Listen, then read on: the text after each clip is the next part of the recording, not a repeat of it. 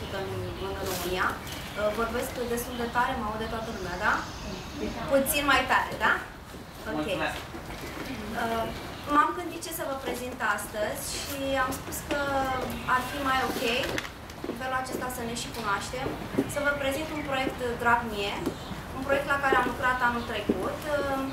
Așa cum v-a spus Paul, sunt jurist de profesie, dar și coordonator de programe de vreo 15 ani în diverse organizații neguvernamentale. Proiectul de anul trecut a fost lansarea unei cărți intitulată Personalități cu handicap care au influențat istoria. Deși nu sunt de specialitate scriitor, nici nu mi-am dorit să devin scriitor, mi-a plăcut foarte mult acest proiect pentru că mm, l-am văzut oarecum personal, datorită dizabilității pe care o am. Dizabilitatea am dobândit-o la 14 ani, poate fiecare se întreabă ce s-a întâmplat cu mine. M-am născut o persoană validă și sănătoasă, dar uh, în urma unui accident uh, la un antrenament de atletism, făceam atletism de performanță, am uh, dobândit acest minunat dar Uh, și un dar frumos, dacă mergi într-o locație unde nu există destul de multe scaune, eu sunt cam câștigătoarea grupului. Uh, nu mai spun că um, câteodată sunt privilegiată în a intra în diverse locații pentru că am un lift special. Bine, e un privilegiu pe care nu l-am câștigat în toate locațiile așa cum mi-aș dori, dar la care se lucrează de vreo 20 de ani. Uh, sper să mai trăiesc încă 10, să apuc și eu chestia asta. Um, am să vă vorbesc un pic despre carte. Um, cartea, um, am să folosesc aceste cartonașe pentru a mă tempera. Uh, sunt uh, foarte aprinsă când discut despre un subiect care mie personal îmi este foarte, foarte drag și sper să mă pot tempera un pic cu aceste cartonașe. Dacă considerați că am luat-o prea repede, vă rog frumos să ridicați mânuțe că nu m-a auzit sau că eu am deraiat puțin uh, prea repede subiectul. Cartea de colecție Personalități cu handicap care a influențat istoria, cum v-am spus, este un proiect al fundației în care lucrez ca și jurist, ca și coordonator de pro proiecte. Ideea le aparține lor. Mie doar mi s-a trimis acest proiect în brațe și mi-a spus du-l până la capăt, adică în al uh, concepe, crea, a stabili care este scopul și motivația unui astfel de produs până la lansarea acestei cărți. Cartea s-a lansat uh, anul trecut în decembrie la cea de-a doua ediție a Galei Investiții în Potențial, o gală care a avut ca scop premierea uh, tinerilor, care, tinerilor cu handicap care au oscilat în diverse domenii de-a lungul anului 2011. Uh, tinerii sunt sportivi, campioni europeni, mondiali în diverse discipline sportive, cum e paracanoe, powerlifting, sunt discipline sportive adaptate pentru persoanele cu dizabilități. Cartea își propune, uh, în primul rând, o incursiune unică prin care împreună personalități cu handicap care de-a lungul uh, istoriei au influențat uh, de-a lungul vremii au influențat istoria în diverse domenii, atât științific, cultural, politic, sportiv. Împreună cu aceștia, tinerii cu potențial din România, care au excelat în ultimii 15 ani în sport, în cultură, în artă, um, vă vor demonstra abilitățile, precum și uh, capacitatea lor de a trece peste barierile arhitecturale, barierele de atitudine, barierele de mentalitate, pe care le întâlnim și uh, pe care le întâlnim în diverse, uh, în diverse țări, datorită culturii, a educației, acestea sunt diferite. Uh, și acest lucru se reliefează și în carte. Uh, cartea de asemenea evidențiază noțiunea de handicap de-a lungul vremii, uh, problematica persoanei cu handicap din toată lumea, evoluția tehnicilor de învățare, de predare, de comunicare pentru persoanele cu diverse dificultăți de vorbire, evoluția recuperării, reintegrării și reconversiei profesionale uh, și uh, de asemenea reliefează impactul realizărilor acestor, uh, acestui grup țintă către societatea civilă. În cadrul cărții sunt, cum am specificat, 100 de prezentate 100 de personalități cu handicap, care de-a lungul vremii au influențat istoria prin realizări lor deosebite. Și tineri cu potențial din România. Majoritatea tinerilor prezentați în carte sunt și bursieri ai fundației. Lor li se oferă o bursă sportivă, de studii, de excelență sau socială pentru a se putea pregăti în diverse domenii de activitate. Studiind uh, materialele necesare pentru realizarea acestui produs, am aflat că fiecare persoană găsește de unul singur abilitatea de a comunica, chiar dacă cei din uh, jur nu cred că acest lucru este posibil, abilitatea de a alerga, chiar dacă uh, modul de deplasare este diferit, abilitatea de a iubi, chiar dacă uh, și atunci când toți, chiar și atunci când toți îți plâng de milă, dar cea mai importantă dintre toate este abilitatea de a te ridica uh, atunci când toți ceilalți din jurul tău cred că tu nu ești capabil să faci acest uh, lucru.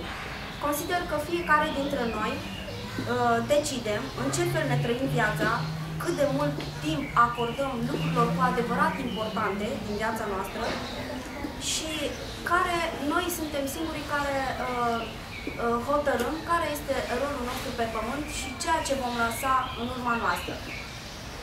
Ca să vă faceți o idee despre ce personalități veți găsi în această carte, am să vă întreb care, câți dintre voi știu că Julia Roberts, de exemplu, sau Anthony Hopkins au o dizabilitate. Uh, dizabilitatea lor se numește dislexia. Este o boală uh, cu care de obicei sunt diagnosticați încă de, de când încep să meargă la școală. Este o dificultate în a citi. Această dificultate a avut-o și Nicolae Ceaușescu la discursurile sale. Probabil ați văzut că el citea foarte, foarte greu. Această dificultate o are și Tiger Woods, care este un jucător de golf cunoscut în uh, toată lumea. Sunt uh, prezentate în carte uh, persoane uh, care au avut crize de epilepsie. Nu știu câți dintre voi știți că Ion Creangă făcea crize de epilepsie sau, de exemplu, cel care a adus, a creat Madame Bovary, Gustave Flaubert, sau marele romancier englez Charles Dickens, de asemenea, Uh, făcea crize de epilepsie uh, în urma unui uh, traumatism, traumatism craniocerebral. De asemenea, Dickens, în operele sale, avea personaje care manifestau aceste simptome ale bolii și care deseori făceau crize, dacă citiți opera lui. Alfred Nobel, care este inventatorul dinamitei și un om de afaceri a fost un om de afaceri și de asemenea uh, un inventator cu foarte multe brevete. Noi îl cunoaștem uh, în zilele noastre datorită premiilor Nobel. El de asemenea a fost uh, surd, ca și cel care a inventat becul cu filament, Thomas Edison. De asemenea, datorită unei, unei, unui traumatism, a, a devenit surd pictori precum uh, uh, Van Gogh sau Ștefan Lucian sau uh, în România Gheorghe Aștileanu. Sunt pictori care, datorită unor probleme de sănătate, au, au rămas cu o sechelă, cu o dizabilitate fizică. După cum știți, Lucian, în ultimii ani de viață, picta ținându-și pensula legată de mână cu un pansament, pentru că nu mai avea capacitatea să țină pensula în mână. Uh, Lucian, după cum știți, a avut și o dizabilitate psihică, el datorită unei schizofrenii a ajuns chiar să se autoamputeze, tăindu-și urechea, chiar apare în, divers, în și picturile lui, apare la un moment dat cu urechea avantajată și uh, nu mă auzi. Nu? Ai ridicat mâna nu, că nu, mă auzi? Nu, nu, nu. Ah, am spus să ridicați mâinile în caz de vorbesc la repede sau nu mă mai auzi. Da. Uh, John Nash de exemplu, un, um, un mare matematician uh, și câștigător în 1996 a Premiului Nobel pentru Economie, uh, el s-a luptat toată viața cu schizofrenia paranoidă, uh, o boală și care nu îi mai permitea să fie el. O boală despre care vorbește în autobiografia sa, iar autobiografia sa este creată, în, pusă în imagini în filmul A Beautiful Mind, un film care a fost nominalizat la Oscar și a câștigat patru dintre ele. vi-l recomand cu toată inima. Un film în care arată un om, un geniu, care se luptă recurgând la metode nu tocmai ușor de suportat pentru un om și de conștientizat că ești nevoit să fii electrocutat pentru a, pentru a te trezi într-o zi uh, și a fi tu, a nu fi altă persoană. Pentru că el își dorea să fie el. Noi luptăm foarte mult în viață să fim altcineva. Uh, ne atrage o anumită persoană și, măi, aș vrea să fiu ca ea, e simpatică, e sexy, cred că pot să fiu și eu ca ea. Mă, nu. Nu o să-ți iasă. Trebuie să fii tu. Ca să fii uh, autentic, să fii real, să fii perceput uh, uh, așa cum trebuie de cei din jurul tău, trebuie să fii tu. Când eram uh, mai micuță, datorită dizabilității am fost nevoită să trăiesc în diverse centre de recuperare, uh, alături de alți tineri cu diverse tipuri de dizabilități, departe de familia mea. Și încercam să mă cunosc pe mine. Și vedeam că ceilalți tineri din jurul meu erau parcă mai deștepți, mai frumoși, mai extraordinari și încercam să fiu ca ei. Încercam să-i copiez oarecum. Până când într-o zi am stat și m-am întrebat, măi, dar de fapt cine sunt eu? Ce știu eu să fac? Eu știu să fac o grămadă de lucruri, dar de fapt mă pricep la ele, nu știu să le fac foarte bine. Sau, uh, nu, nu știu, încercam să iau anumite trăiri uh, și să transmit anumite emoții așa cum transmiteau ei, nu cum, transmit, cum aș fi transmis eu, dacă m-aș fi lăsat în largul meu, fără să mă gândesc ce, ce cred ceilalți oameni despre mine. Uh, înainte priveam foarte mult uh, oamenii cum mă privesc pe mine, oare ce gândesc despre mine. Acum, sincer să fiu, nu mai am timp să mă uit la ei. Uh, mă uit la oamenii de, din jurul meu sau când merg pe stradă sau în autobuz, uh, mă uit uh, doar pentru că mă atrage ceva, nu știu, are păr roșu, nu știu ce fustă verde sau silicoanele pe afară, nu știu, îmi plac femeile, mă uit așa după ele, deși am prieteni de sex masculin. Uh, sunt atrasă de chestii de genul ăsta, nu știu, ieșite din comun. Nu mă uit la o persoană care e obișnuită, e comună, clar, nu mă atrage. Și am început să gândesc că oamenii se uită la mine pentru că eu nu sunt obișnuită. Clar, deci sunt diferită de ceilalți și din această cauză mă privesc. Nici de cum că, vai, uite, săraca, am milă de ea sau ceva de genul. Și am renunțat la o anumită vârstă să mai privesc așa atent oamenii și să mă gândesc, mai mult de atât să mă gândesc, băi, oare ce o gândi ăștia despre mine? Acum sunt total relaxată, deci mă gândesc unde merg, de ce merg acolo, ce urmează să fac, am cu totul și cu totul alte gânduri, nu prea mai îmi pasă ce gândesc cei din jurul meu vis-a-vis -vis de persoana mea.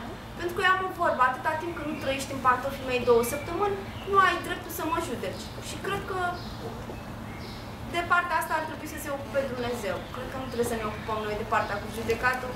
Mm, ne-am simțit așa prea prea puternici, nu știu, suntem totuși niște oameni. Uh, cum vă spuneam, uh, alte personalități pe care le veți întâlni în carte și pe care chiar îi cunoașteți, de exemplu Ray Charles sau uh, uh, Stevie Wonder, George Nicolescu, sunt nevăzători, dar sunt niște artiști recunoscuți la nivel internațional. Uh, un mare fizician englez, un teoretician al uh, originii Universului și unul dintre cei mai mari cosmologi contemporani, eu îl consider unul dintre cei mai, cele mai mari genii uh, care trăiesc în secolul nostru, Stephen Hawking, este de asemenea o persoană care uh, reușește să comune, comunice cu ceilalți doar cu ajutorul unui calculator. El nu-și poate mișca nici măcar un membru uh, inferior sau superior, Uh, datorită unei dizabilități, unei uh, probleme uh, neurologice apărute pe la 20 și ceva de ani, el a rămas țintuit într-un scaun rulant, mai mult de atât și-a pierdut și capacitatea de a vorbi. Are un aparat special, bănuiesc că l-ați văzut în diverse știri din domeniul său. Christopher Reeve, toată lumea cred că a văzut Superman.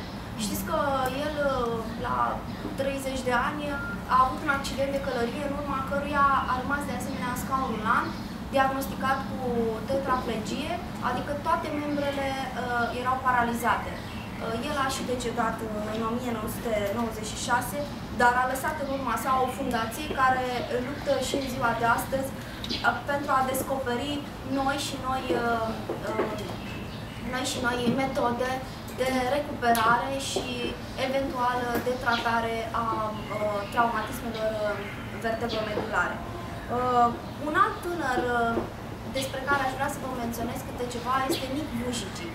A venit anul trecut în România, adus de cei de la Rum Telecom. Uh, Nic Vujici este un tânăr care s-a născut cu un sindrom tetramelii, se numește. Uh, sindromul uh, prin care uh, persoana se naște fără niciun membru. Adică el nu are mâini și nu are picioare. Totuși a reușit uh, la nici 30 de ani să devină unul dintre cei mai mari speaker motivaționali uh, din lume. Uh, are propriile lui firme imobiliare și uh, pe partea aceasta de speaker motivațional, mai am un minut. Ah, bun, știu ce s-a întâmplat. Uh, este un tânăr uh, care transmite și motivează oamenii că poți trăi uh, fără mâini și fără picioare, poți avea o viață independentă pentru că te adaptezi situației și mai mult de atât uh, uh, ai capacitatea să fii fericit.